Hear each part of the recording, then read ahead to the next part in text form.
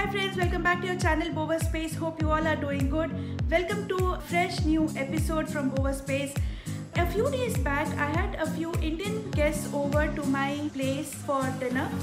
And during the preparation, I had posted a picture on the community tab and asked if you would like me to do a video on that. And I got very good responses in affirmations. So here we go on what I had planned on the menu that I had decided, how I arrange the table, and most of all, the way I try to manage my time. So, friends, without much delay, let's get started.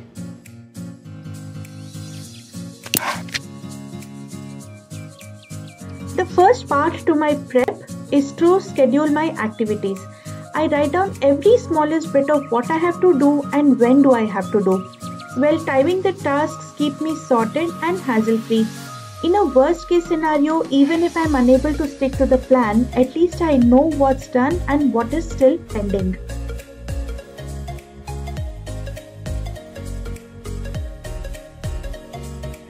When it comes to menu planning, I ensure to cook a meal that's a novel experience for my guests.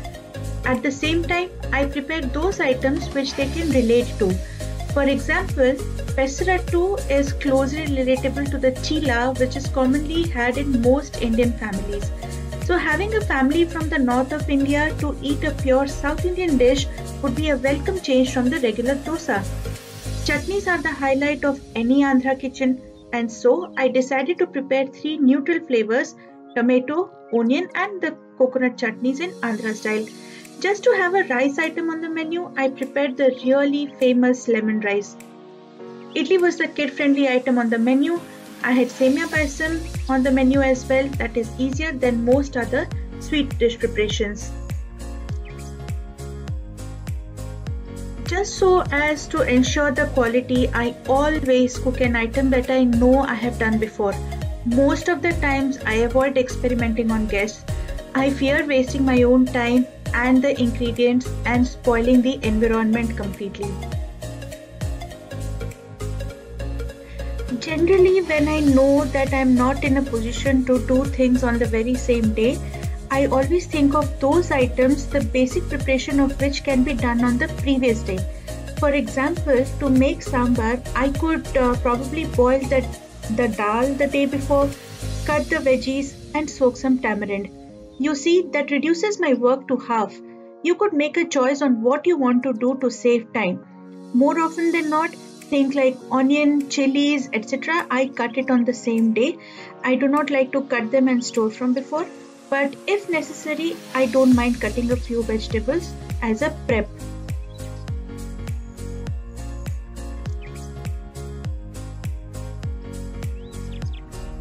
On the day when guests uh, are arriving, multitasking is a must.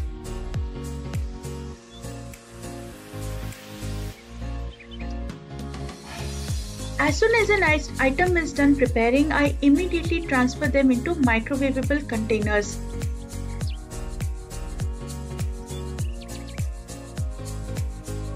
I like to have my menu list as a ready reckoner on my refrigerator so just so that I know what has been done preparing.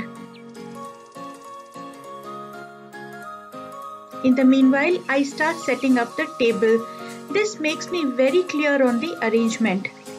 Now just so that cleanup does not pile up on my head for the last moment, I try to simultaneously finish up cleaning, especially the utensils.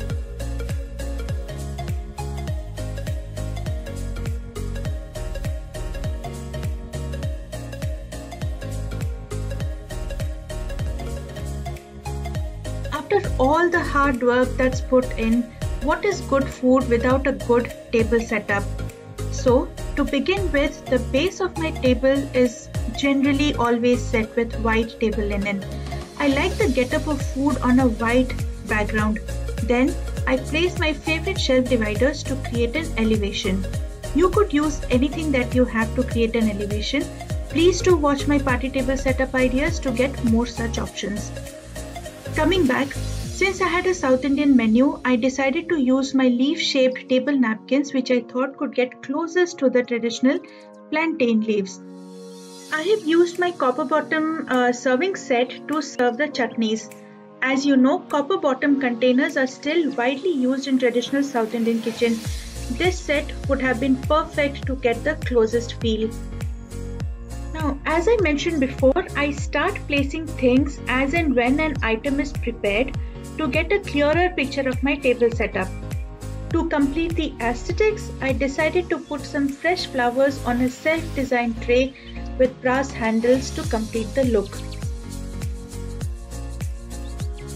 Personally, I feel that an effort that goes out in thinking and doing beyond expectation gets a smile on everybody's face at the end, a party table should not just be a table with food, but a table full of love and respect. So friends, you saw how I have done my preparations. If you have any of your thoughts, please do share it in the comment section below. Please do not forget to share with you the menu that you typically prefer when you have guests coming over. That will give me a lot of ideas on how I can manage doing things the next time around. Do not forget to share in your thoughts and um, most importantly please subscribe to my channel if you haven't done that yet and do press that notification bell button so that you get notified every time I post a new video. So thanks a lot for watching. See you soon. Bye bye. Well friends, like I said the last week, it's time for me to tell you about the Indian fabric that I'm wearing today. Now this sari is a Coimbatore cotton or a Kovai cotton that is very popular for its two double colored borders. They're very thick, nice borders and they really, uh, you know, place themselves well. Now it is paired with this pretty Kerala mural pendant. These pendants are typically done on wood and they're really really pretty. I love this pendant. So friends i hope you liked this attire. If you did please do leave in your comments. Don't forget to read my blogs and uh, download the printables. Do subscribe to my channel and please share this video. Thanks a lot for watching. Bye bye